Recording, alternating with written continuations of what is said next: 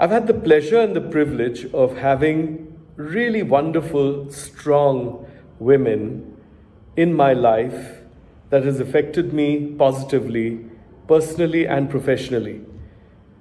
In fact, when I joined the PR business, which is over 30 years ago, I had only women bosses. And I learned from them.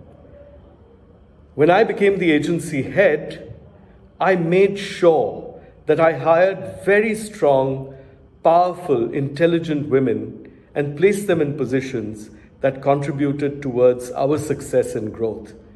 I'm incredibly proud of all these experiences and all the women, leaders, and colleagues that I've worked with that have made me a better man. Women are natural nurturers and storytellers, and that can only add value to our business uh, as one takes it forward in this digital age.